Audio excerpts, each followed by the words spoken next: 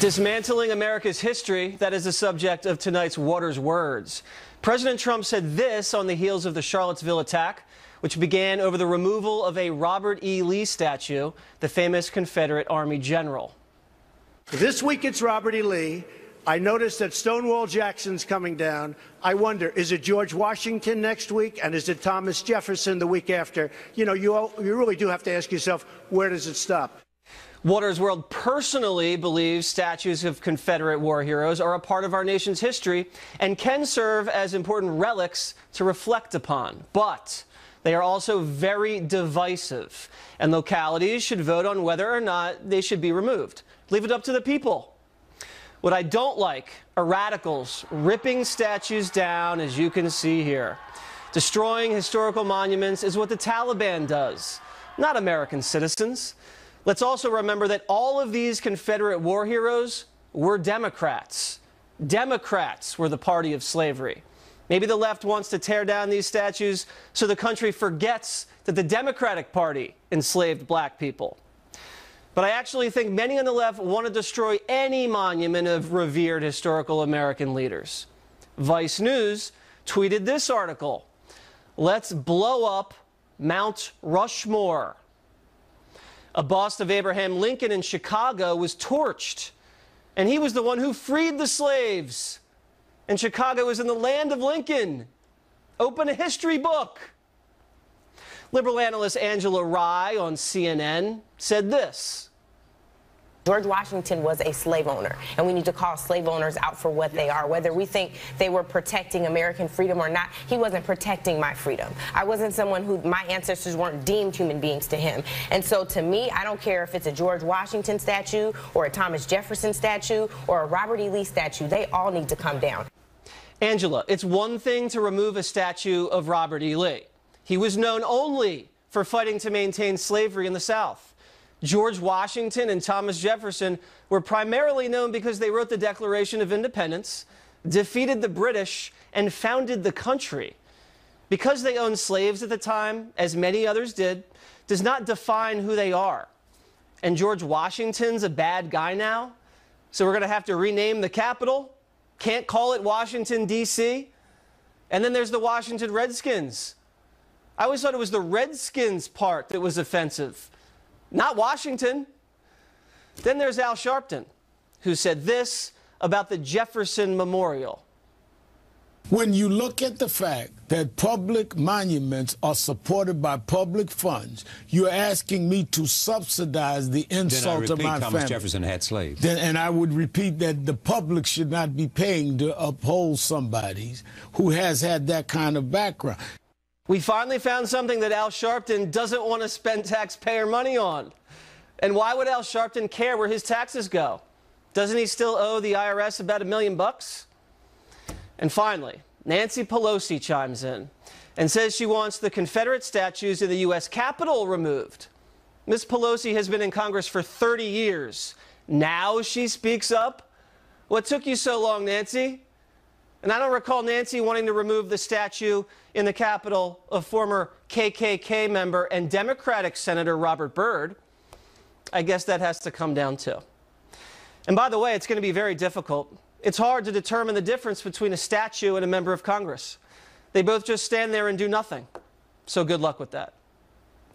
With reaction to my words and how we move forward is performing artist Joy Villa, who's got a new song, Make America Great Again and political analyst and founder of Caldwell Strategic Consulting, Gianno Caldwell, who was real emotional discussing Charlottesville this week on Fox and Friends.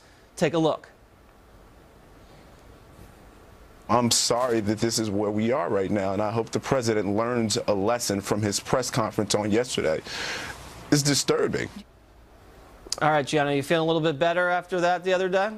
Yeah, I'm a, a, whole lot better. And Jesse, I'll tell you, I listened to your monologue, and it sounded like you took all of my talking points and put them in your monologue.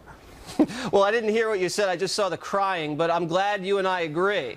Well, I Um, know you, you cry on the inside often. You just got to let it show sometimes, Jesse. Listen, I told you that, Gianno, in confidence. That was not to share on television. So let me just get your reaction. You know, the, the left doesn't want the Robert E. Lee stuff, and I understand that. It's divisive, and well, I'll let the people decide. But no, when you go after Mount Rushmore, come on. Yeah, that's that's more of a difficult process, and I and I agree entirely with your monologue there. Obviously, Robert E. Lee uh, was a, was a, a Democrat, of course. Um, in addition to that, I don't believe that we should be giving out participation trophies for those who didn't win something. The war was very divisive. Slavery was obviously divisive.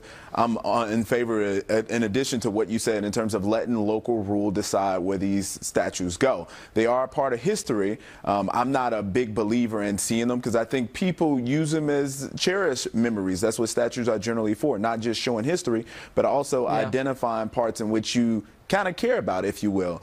Um, in terms of Ro- Mount Rushmore, I don't think that's something that we should do in terms of uh, destroying Route Morse, Route, you know what I mean? Yeah. Mount Rushmore. Yeah, I mean, that's Uh, going but to I take a lot of changes that could be TNT to do, first of all, and uh, I think there's going to be Americans lined up in case anybody tries something silly. Joy, do you disagree? I disagree. I think we should not get rid of these statues. First of all, it do, just because we have a statue doesn't mean we're celebrating what happened. It commemorates a moment in history, just like we have a 9/11 memorial. That doesn't commemorate it as something we celebrate. So trying to erase history is not putting us forward. It's actually putting us backwards. So, as an Well, African American but- but if- if I woman, when you walk by, let me just okay, let if me I just may- say, if I may uh, respond. So, Oh, you go, I go said ahead. put them in museums. We're not getting rid of them. We can repeal and replace them like Obamacare. We replace them with another statue well, in they our can't even do that. of local So, rule. But you if just they're going to try to repeal and with that? replace like they did in the Congress, nothing's going to happen. And they're actually attacking the statues to get rid of them in the middle of the night, unlawfully. They're not voting on should we take these down. They're And I disagree them. with that.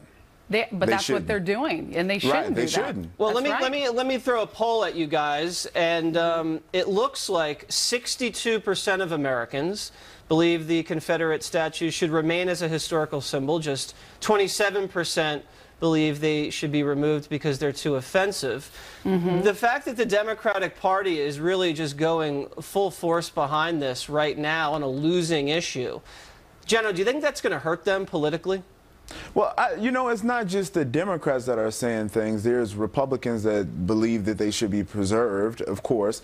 Um, but I think it isn't going to hurt them. I think that there's a lot of people that believe that it's divisive. We have uh, Robert E. Lee statues, obviously, but we don't have any Nat Turner statues. He led the rebellion uh, against slavery, uh, and that was somewhat of a divisive issue Well, let me let me let as me put this to Joy then. So, Joy, instead of maybe removing statues of Confederate soldiers, Mm-hmm. what if they erected statues of prominent African American historical figures? That is a perfect idea. I think what we need to do instead of tearing down America, we need to build America up. We do need to focus. We need to pivot away from this. We need to stop trying to destroy things that offend us and let's put things that celebrate what happened. And let's say, yes, history was bad. That happened. Now, what can we do to celebrate people that fought against uh, slavery, that ended the Civil War, And rather Joy, I think you just made my point for me. Made made the I very made my point own that I made. I don't think no, you no, made no, that no. point the statue, earlier. no, the statues people are using to celebrate.